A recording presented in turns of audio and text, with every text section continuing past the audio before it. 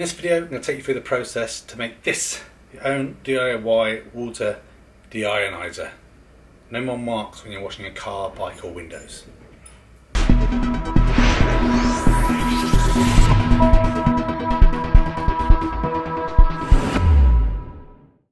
Right, so in this video I'm going to put together my own water deionizer. So you're probably tuned into this video because uh, you want to do the same. Perhaps it's because you're getting fed up with all the watermarks when you're cleaning your car or your motorbike, perhaps even your windows.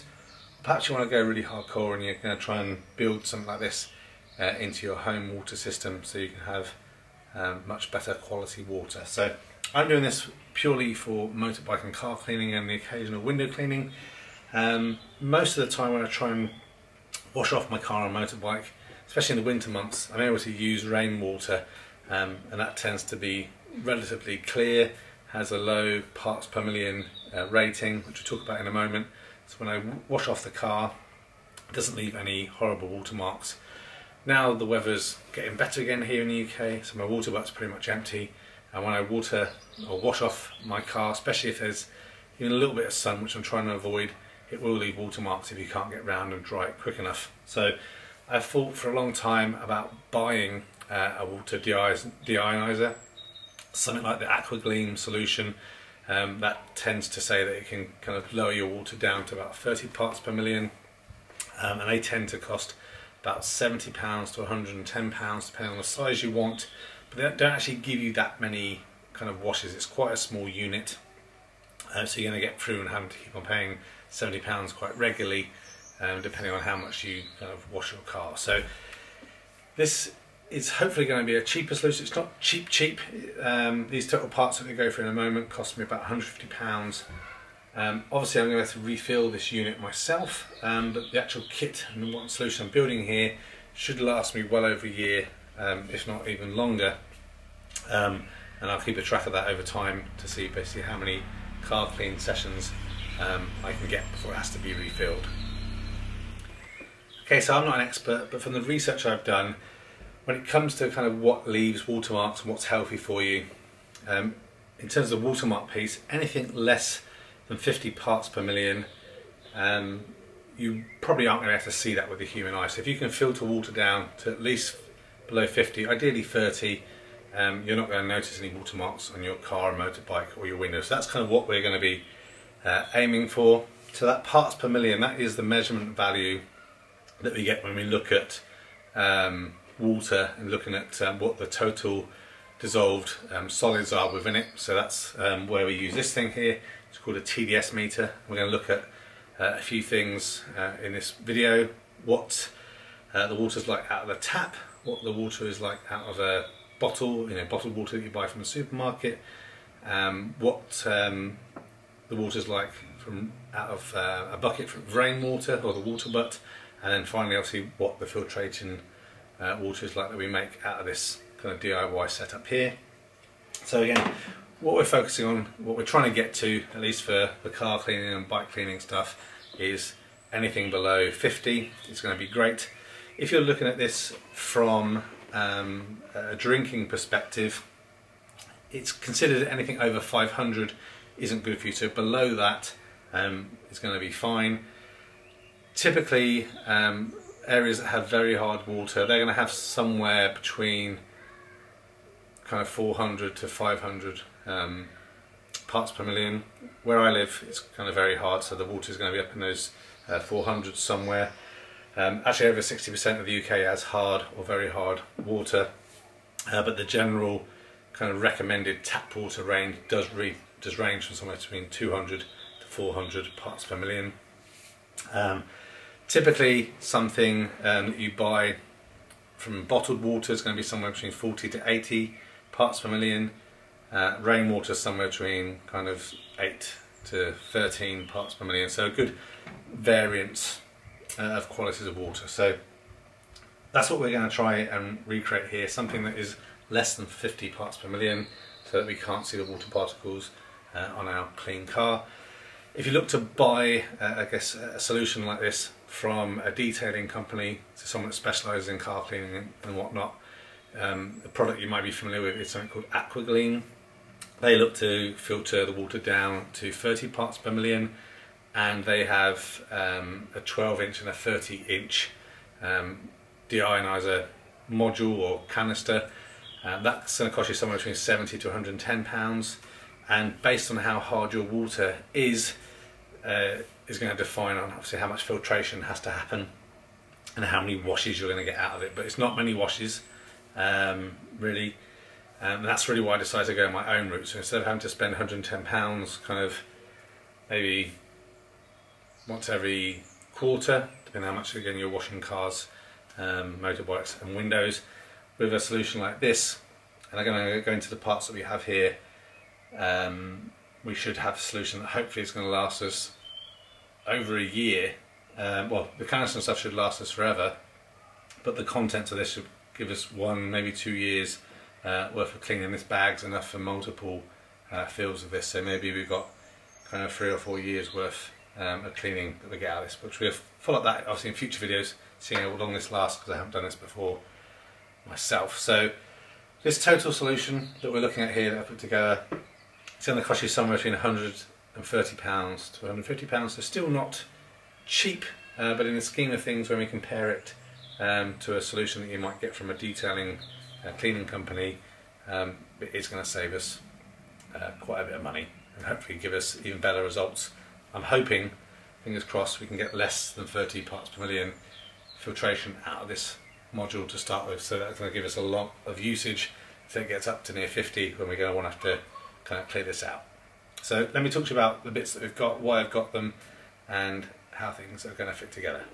Okay, so start off with, I have some hose pipe. I've got about three meters worth of hose pipe that I've cut from my hose that I'm going to use basically as a connect from the one end um, of this canister to either my pressure washer or just a general hose that I can hose over the car. We then have just an empty Coke bottle. I'm going to use this to kind of turn into a shovel which will help me get um, the resin from the bag uh, into the vessel. This vessel here is an 11 litre vessel. I've gone for that because pretty much uh, the best value for money seems to be the 25 litre bag of resin which means I can get two and a bit refills of resin in this. Also you can get a smaller one or a larger one um, it's going to last you longer or shorter based on obviously how much resin you can have in there. Inside you have a filter mechanism. So this will obviously bury itself down into the resin. And on the end of here we have a, a one-way uh, filtration system. So water needs to go in this way and out the other. There is a, an arrow for in and out on the end here. Not sure how well you can see that on the video.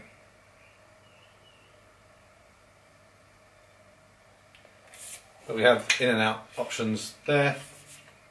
This resin will go uh, into here, filling up to just below the brim line here. Then I put a little bit of water in, which enabled us to be able to bury this down uh, into the unit. And then I've gone for this Unger resin. So I think you can get resin slightly cheaper than this. And these bag prices seem to vary um, over year. Right now, I'm doing this during COVID-19, and like everything, the prices seem to have gone up. So this bag actually cost me uh, just under 90 pounds, which actually is what makes this bill a little bit more expensive. Um, but the Unger resin does seem to be good quality um, resin, one of the best. So that's why I thought I would um, go with that to try it. Obviously, because I'm using this for, uh, with a garden hose, I've gone for um, Hozelock ends. So the system comes um, with these connectors that we're going to put into either side of the filtration unit. Got a bit of uh, plumber's tape so we can seal that in nicely and then Hozelock um, end connectors and then just some cheap um, knock-off kind of Hozelock connectors like you have on your hose pipe. One is a standard one, one is a stop one to stop the water just coming out the end which I'll be able to attach to the hose and have one end connected on to either side. And then finally uh, this TDS meter so that we can measure the different types or the different uh, ppm values um, of the water both before it goes into our filtration unit and also most important when it comes out to see if it's actually doing um, the job that we want. So what I'm going to do now is I'm going to grab some different types of water, water from the tap, uh, some rain water and some bottled water just to show you the different um, levels and how this TDS meter measures the parts per million uh, values of the different types of water. Okay, so just been and got a bit of tap water that I've put into this little bowl here and we're going to now get the TDS meter. So again, I live in a very hard water area so I'm expecting this to be up in the high 400 marks, hopefully not above uh, 500. So we can see right now, let's move this closer somehow. There's obviously no uh, reading uh, on the water meter. I'm going to pop this into the tap water. Can't quite see that from my angle. Okay, so we've got 408, so that's kind of what we're expecting with the tap water. I'm just going to throw this out and get uh, a bit of the bottled water and see what that measures like. Okay, so I've got just some cheap Asda sparkling water that I've just put in to the bowl. So now we will try that. So again, currently reading zero. Put that in.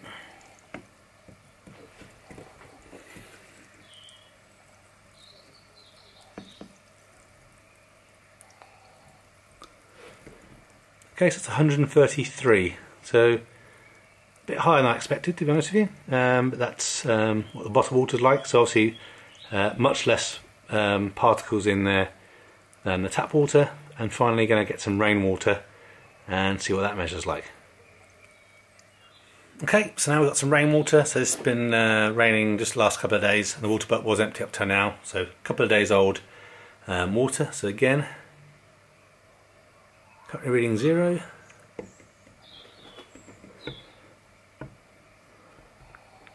And we have it, uh, a rating of 45. So again, that's a bit higher than I thought uh, we would have for uh, rainwater. But I know that when I'm rinsing my car off with the rainwater, I'm not getting any um, water marks. That makes sense. It's under 50. Um, so again, so if we can get this canister to be anywhere near to there, I'm hoping we're going to get to zero uh, parts per million to be my ultimate goal. Um, but we will see. Now we understand a bit better about the different uh, ratings of the water. Now, of course, this may not be 100% accurate, but it's fine for the purposes of this exercise and we've been able to compare the different readings from the different water types. So now, let's um, put this stuff together and see if it's going to work or not. Okay, so the first thing we want to do is take our bottle and either use some scissors or a knife and cut it into kind of some form of scoop. So we're just going to do that now. Obviously children, ask an adult and don't cut your hands. Okay, so I'm not sure how well this is going to work, but this is basically how I've cut mine out and hoping that I can use that in a bit of a scoop type fashion. Next thing I'm going to do is we're going to grab our vessel Oh, get that out gently. As mentioned, there is an arrow along with the writings for in and for out. I'm probably at the end of this going to mark it with a bit of silver paint that I have so I don't forget what I'm doing. And then basically we have these two connectors that we can need to put into either side, but we do want to put a little bit of this plumber's PTFE tape around the end of it. So we will do that now and uh, make sure we've got a nice watertight seal for our in uh, and out inlets. This doesn't need to be mega neat, just something like that, that you've got a good even covering around the end. Pop that off and then carefully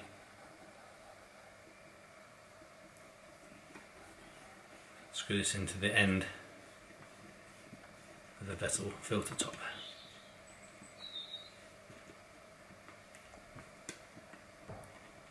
Hand tight should just be perfectly fine, but if you want to do it up with a wrench or whatever, you can. And obviously then we're going to do the same for the other side. Okay, so obviously because we're using this uh, with a hose and our Hozelock connectors, we need to put the right type of connector on the end.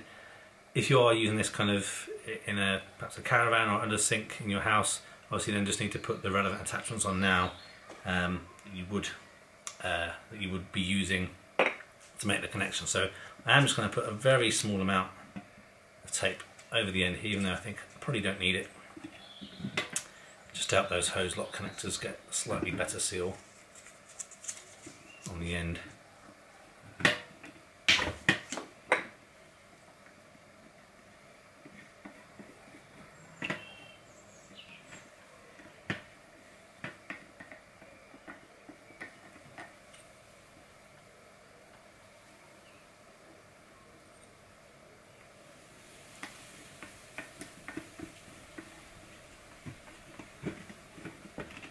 And again, just do the same on the other side.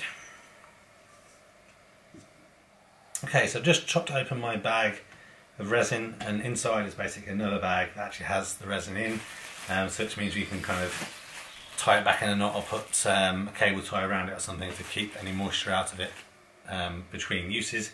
This stuff is quite heavy and it is quite cumbersome, so basically I'm just going to use my scoop to scoop parts of this up um, into uh, the vessel and again filling it up roughly um, to around the top here. So carefully take this off, undo the bag.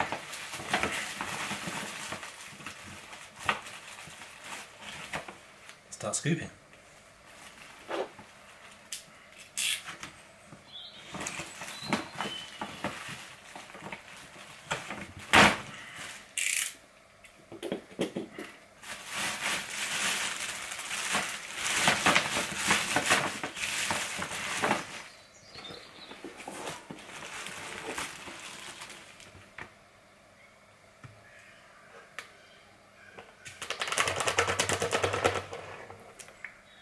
See the advantage here is I can put the scoop all the way in to the vessel which hopefully is going to minimise me dropping most of this over my garage floor. Again you can see here just what the resin looks like. It's like a sugary texture. Okay, maybe just a couple more one thing I think is going to be important to note as well is obviously all of this is going to be quite firm in here.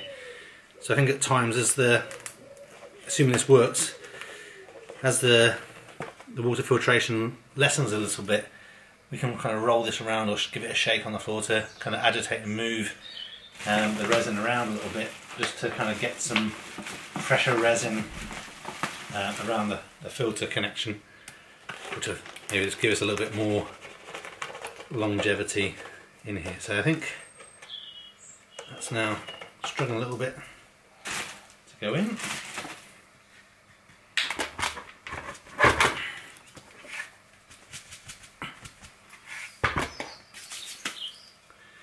Okay, so I think a little, one more scoop, small scoop,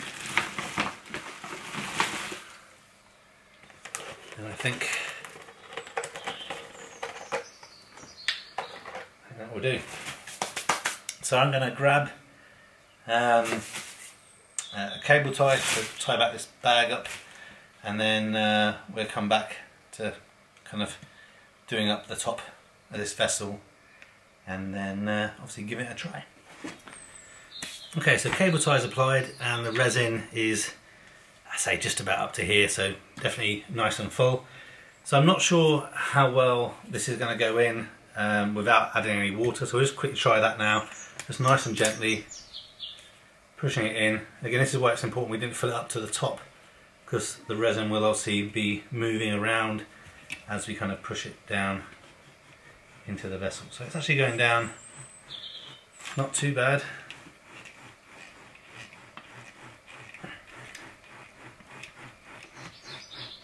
Just keep manoeuvring it nicely. As it gets towards the bottom is obviously when it's going to get harder because it's going to be more compact uh, down the bottom as we're kind of pushing this in.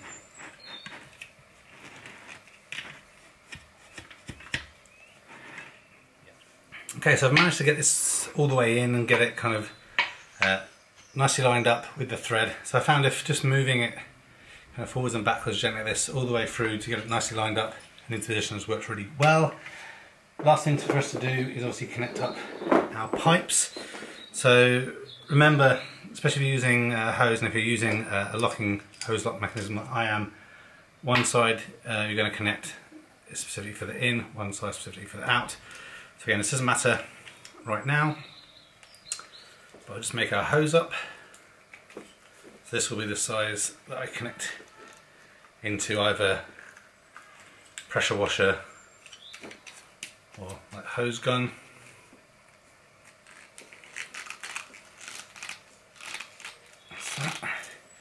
And then this side the one that connects onto the end of the vessel.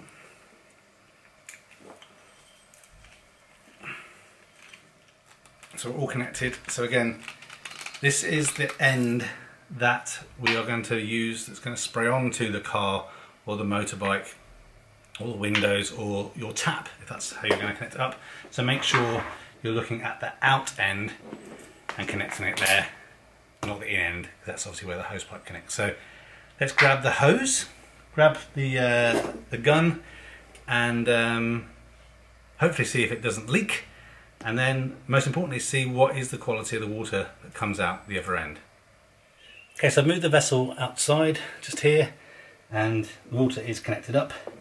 Put the kind of hose attachment into soaker mode, so let's probably change it to a different mode. Um, soaker mode, um, so not much of a jet of water comes out, just water. And I put some of that, let's leave it running for a little bit actually, just so that the water is definitely coming through our vessel. No leaks, so it's a good start. Let's put some of this water into my little dish. And then here comes the test. What's the water quality going to be like? So let's turn this on. Hopefully you can see that right now. It's on zero. Offering up the water.